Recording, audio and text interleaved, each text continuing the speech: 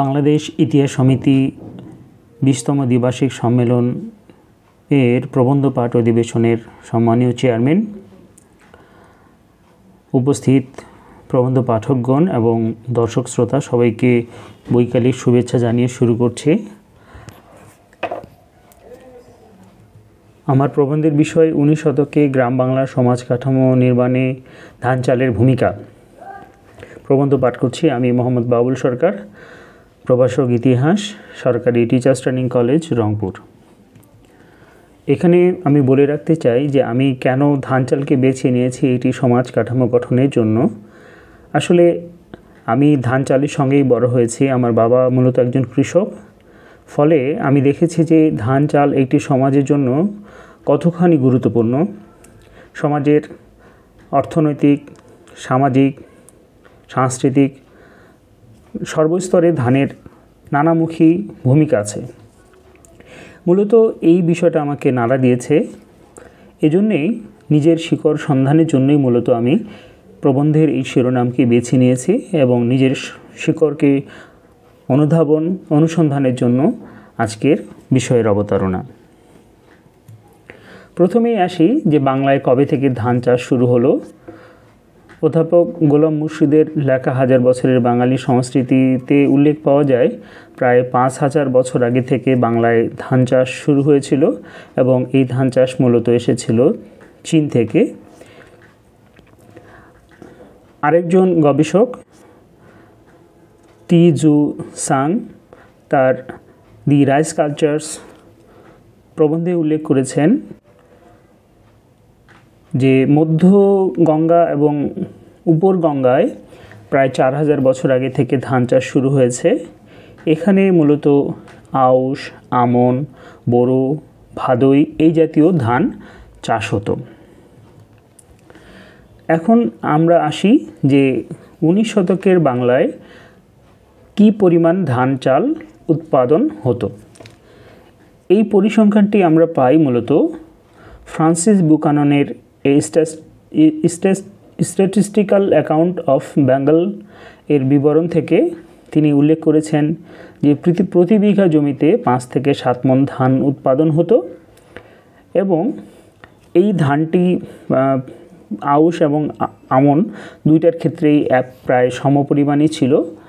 এই পাঁচ থেকে সাত মন ধান থেকে এটাকে সিদ্ধ করার পর প্রায় সাড়ে তিন থেকে চার মন চাল পেত কৃষকেরা। ধান চাল কী করে সামাজিক অবস্থান নির্ণয়ে ভূমিকা রেখেছে সেটাই আমরা একটু দেখি, যে গ্রামীণ বাংলার সমাজে কার কতটুকু ধান ছিল, তার ভিত্তিতেই মূলত তার গোলায় কতটুকু ধান আছে তার খাবারের জন্যে কী পরিমাণ ধান আছে, তার কতটুকু ধান তিনি ফলান, এর উপরেই মূলত তার সামাজিক অবস্থান অনেকখানি নির্ভর করত। আরেকটা খুবই গুরুত্বপূর্ণ বিষয় হচ্ছে যে কে কী ধানের চালের ভাত খাচ্ছে, তার ভাতের চালটা সরু কিনা, ভাতটা সরু কিনা, এর উপরও মূলত তার সামাজিক মর্যাদা অনেকখানি নির্ভরশীল। আমরা একটা পরিসংখ্যানে দেখতে পাই যে উনিশ শতকের বাংলায় রাজশাহী বিভাগে মোট জনসংখ্যার প্রায় আটষট্টি শতাংশই কৃষক, চট্টগ্রামে ছেষট্টি শতাংশ এবং ঢাকায় পঞ্চান্ন শতাংশ অতএব আমরা বুঝতে পারছি যে উনিশ শতকের বাংলায় একটা বৃহৎ সংখ্যক মানুষ কৃষক ছিলেন। এবার আসি যে অর্থনৈতিক অবকাঠামো নির্মাণে ধান চাল কীভাবে ভূমিকা রেখেছিল। আমরা জানি যে উনিশ শতক একটা অনেক বড় পরিবর্তনের মধ্য দিয়ে গিয়েছে। উনিশ শতকের গোড়ার দিকে একেবারে ইয়াং বেঙ্গল মুভমেন্ট তারপরে ইংরেজি শিক্ষার প্রবর্তন তারপরে আমরা দেখছি যে সতীদাহ প্রথা রোধ, তারপর নীল চাষ, এরকম অনেকগুলো ঘটনা ঘটছে।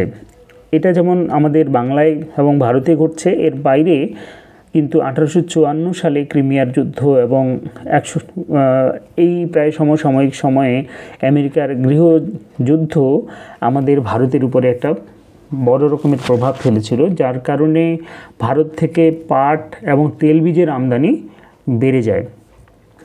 প্রসঙ্গক্রমেই হ্যাঁ, যেহেতু চাহিদা যোগান বিধি মোতাবেক একটি চাহিদা বাড়লে সঙ্গত কারণে বাজার বাজারে তার যোগানটা অনেক বেড়ে যায় মানুষ এটার উৎপাদন বাড়িয়ে দেয়। যখন পাট এবং তেল বীজ সহ নীল চাষ বেশি হতো ফলে ধানের উৎপাদন অনেক কমে যায়। আরেকটা বিষয় সমাজের তখনও বিনিময় মাধ্যম হিসেবে ধান অত্যন্ত গুরুত্বপূর্ণ ছিল।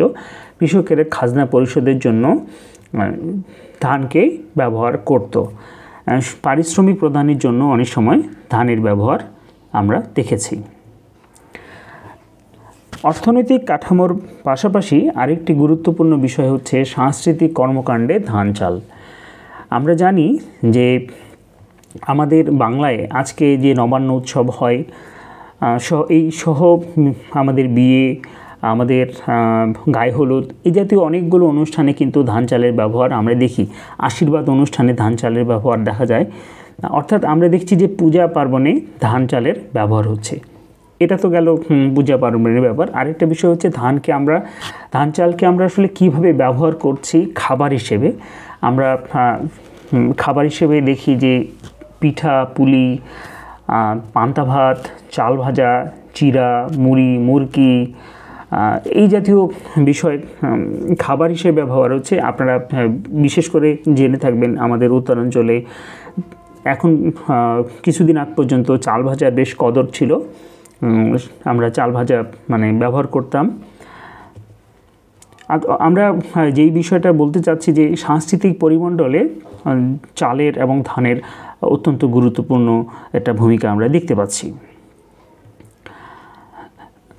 এবার আসি যে এই যে ধান চাল কীভাবে ওই সময়ের সমাজে একটা সমাজকে সাজিয়েছিল বা সমাজে যেই সমাজটা ছিল সেই সমাজে ধান কারা ছিল এবং তাদের উপরে ধান চালটা আসলে কীভাবে প্রভাবটা রেখেছিল? আমরা দেখছি যে একটা ওই সমাজে সব উনি, আঠারোশো সরি সতেরোশো তিরানব্বই সালের পর যে চিরস্থায়ী বন্দোবস্তের পর যে সমাজ ব্যবস্থাটা গ্রামে গড়ে উঠল, তার যে, যদি আমরা শ্রেণীবিন্যাসটা দেখি, তাহলে দেখব যে সেখানে জমিদার ছিল, তালুকদার গাঁধিদার পত্তনিদার, জোরদার রায়ত, বর্গাদার আধিয়ার ভূমিহীন কৃষক কৃষি মজুর এই যে বিষয়গুলি দেখছি, এদের প্রত্যেকের সঙ্গেই কিন্তু ধানের একটা সম্পর্ক আছে।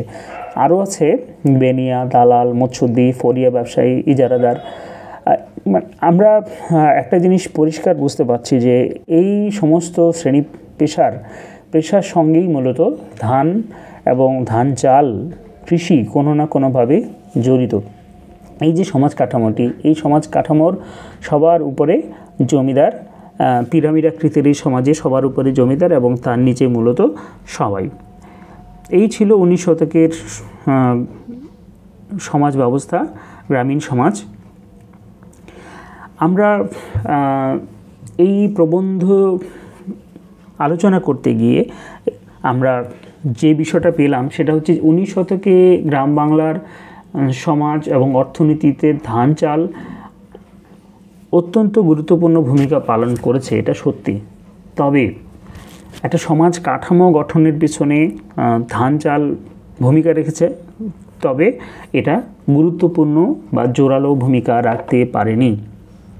এটাই হচ্ছে আমাদের ফাইন্ডিংস আমাদের এই প্রবন্ধে আমাদের যে সীমাবদ্ধতা ছিল সেটা হচ্ছে যে যথেষ্ট পরিমাণ লিটারেচার রিভিউ হয়নি এবং আমি উনিশ শতকের সঙ্গে অন্য শতকের যেমন আঠারো শতক বা বিশ শতকের সমাজ ব্যবস্থার একটা তুলনামূলক আলোচনা করতে পারতাম, সেটাও করতে পারিনি, সময় স্বল্পতাও আছে। শেষে মন্তব্য হলো যে হাজার বছর ধরে ধান উৎপাদন হচ্ছে, সমাজ সংস্কৃতিতে এটা প্রধান অনুষঙ্গ হিসেবে থাকছে এবং একটা উনিশ শতকের যে ঔপনিবেশিক সমাজ কাঠামো, সেই সমাজ কাঠামো নির্মাণে ভূমিকা ধান চাল রাখছে। তবে সেটা জোরালো নয়। ধন্যবাদ সবাইকে। সবাই ভালো থাকেন, সুস্থ থাকেন। আসসালামু আলাইকুম।